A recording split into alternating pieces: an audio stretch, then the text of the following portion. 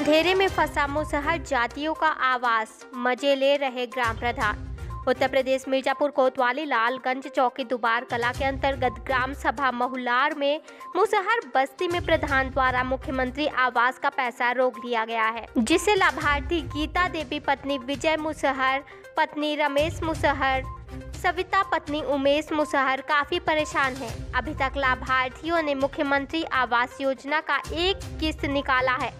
जब दूसरी किस्त के लिए लाभार्थी बैंक पर गए तो बैंक मैनेजर पैसा निकाल कर हाथ में दिया और पुनः वापस ले लिया। बैंक मैनेजर ने कहा कि सेक्रेटरी और प्रधान दोनों ने मिलकर आप लोगों का पैसा रोक लिया है। जब तक प्रधान और सेक्रेटरी बैंक में आकर यह नहीं कहते कि इनका पैसा दे दिया जाए, तब तक आप लोगों की दूसरी किस्त नहीं दी जाएगी, जिससे लाभार्थी मायूस होकर घर वापस लौट गए। आवास को लेकर मन में प्रसन्नता थी, लेकिन जब पैसा नहीं मिला तो चेहरे पर मायूसी छा गई। गरीब मुसहरों की झोपड़ी गिरवा कर न्यू डलवा दी गई है। इसके बाद आज तक उसमें काम नहीं लग पाया, जिससे वह गरीब मुसहर खुले आसमान के नीचे इस ठंड में रहने को विवश हैं। ग्राम प्रधान अनारकली कोल हैं, जो कि पूर्व प्रधान काशीनाथ पटेल के इशारों पर काम करती है।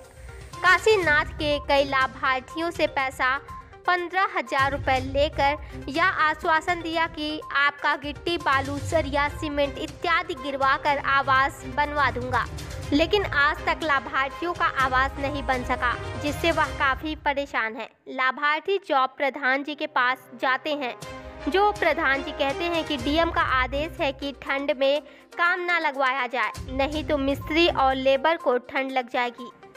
यह सब कहकर उनको अपने यहाँ से भगवा देते हैं। प्रयाग एक्सप्रेस न्यूज़ के लिए मिर्जापुर से शिवचरण बिंद की खास रिपोर्ट। आज आपके ग्राम सभा मुहलार में आया हूँ मुसहर बस्ती में। ठीक? बताइए आपकी कौन सी प्रॉब्लम है?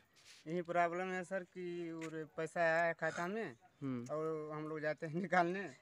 तो बैंक मैनेजर कहते हैं कि प्रधान और सेक्रेटरी रोक दिए हैं पैसा। अच्छा। हाँ। मतलब खाते में पैसा है उसके बावजूद नहीं मिल रहा है? हाँ नहीं मिल रहा है। क्या कह रहे हैं बैंक मैनेजर? कह रहे हैं सेक्रेटरी और प्रधान मिलकर रोक दिए हैं। उनसे रोकने का कारण पूछे? नहीं। क्यों रोक दिए? नहीं पूछे एक बार प्रधान से। हम्म, तो प्रधान बोले कि उरे थोड़े हम फंसे हैं। अच्छा आप नाम बताइए अपना।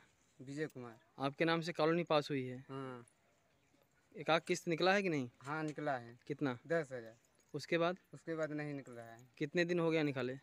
अरे ये हो गया एक महीने। उसके बाद दोबारा किस्त बैंक में आया है लेकिन हाँ, आया है लेकिन निकल नहीं रहा है। चलिए तो आपके साथ और लोग हैं इन लोगों का भी कॉलोनी पास हुआ है? हाँ हमारा भाई हैं लोग। चलो भाई बताओ क्या आ, आपका नाम क्या है? उमेश। आपके नाम से कॉलोनी पास हुई है? हाँ। तो कॉलोनी का पैसा मिला कि नहीं? अभी नहीं। एक भी किस्त नहीं पाए? एक किस्त पाए हैं कितने का? दस हज़ार। उसके बाद? नहीं। बैंक में गए थे? हाँ। तो बैंक मैनेजर ने क्या कहा? वो बोला कि वो लोग प्रधान के और सेक्रेटरी के। अंडर में है वो? जब तक वो नहीं कहेंगे नहीं मिलेगा। हाँ वो लोग कहेंगे तभी पैसा निकलेगा नहीं तो नहीं निकल पाएगा। आप बताइए आपका क्या नाम है भाई? रमेश सर। किस जात से बिलोंग करते हैं आप? किस जात के हो? मुसहर। जात के। हम्म, आपका भी कॉलोनी पास हुआ है? जी। कितने का कॉलोनी पास हुआ है? एक लाख तीस एक लाख तीस हज़ार। कितना किस्त निकाले आप? दस हज़ार। उसके बाद? उसके बाद निकलते नहीं हैं। क्या बोले? बैंक मैनेजर बोल रहे हैं कि नहीं देंगे अब वो लोग घर के सेक्रेटरी लोग। सेक्रेटरी प्रधान मिल के हाँ के एक दिन हम लोग गए पैसा वापस फेल नहीं लिए। एक बार पैसा निकले दस पैसा निकाल के हाथ से फिर वापस ले लिया हाँ, बोल कि अब जाओ तुम लोग नए गाँव को अभी नहीं देंगे। हाँ नए गाँव वाले के हम्म, प्रधान रोक दिए कौन है सेक्रेटरी आपके यहाँ का? सेक्रेटरी सेक्रेटरी का नाम मालूम है? नहीं सर मालूम तो नहीं उसका नाम। चलिए जानकारी लेने के धन्यवाद। तो आप लोग इस समय कहाँ पे अपना जीवन यापन कर रहे हो? यही अब झोपड़ी में रह रहे हैं। घर तो आपका जो था वो तो गिर चुका है।